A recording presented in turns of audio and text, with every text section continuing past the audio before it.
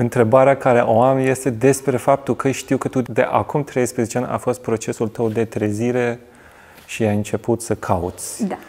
În acești ani, ce fel de ritualuri tu personal pentru tine ai creat ca să poți să ai o viață echilibrată în tine, tu cu tine, cu familia ta, copiii tăi și apoi și cu businessul care tu o ai? Mhm. Este o întrebare. Sunt într-adevăr ceva ani ca să pot să adun așa tot ce s-a întâmplat în cei 13 ani. Uh, așa cum spuneam, am început în 2012 Uh, am început într-adevăr cunoscând, uh, înțelegând în primul rând, citind. Deci acesta a fost prim, primul pas. Am început practic la nivel cognitiv, da? să înțeleg lucruri, dar prin a citi, uh, pe urmă și mai mult a citi și a înțelege. A fost un moment în care, în 2012, am întâlnit un maestru spiritual.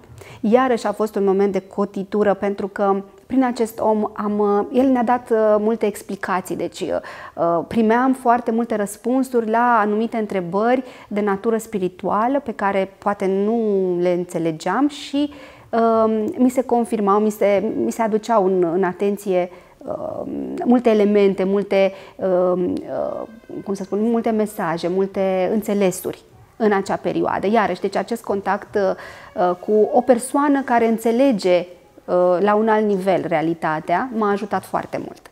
Au fost explicații date, aveam seri în care ne întâlneam, nu eram în România pe vremea aceea, eram tot în Oman, uh, este vorba despre un, uh, un maestru indian, da? pe care l-am întâlnit acolo, deci am avut această șansă să întâlnesc cu oameni deosebiți și mergeam serile și discutam, meditam și discutam despre subiecte spirituale și așa încet, încet am, înce- am, am început să înțeleg lucruri Sigur că este foarte importantă și practica.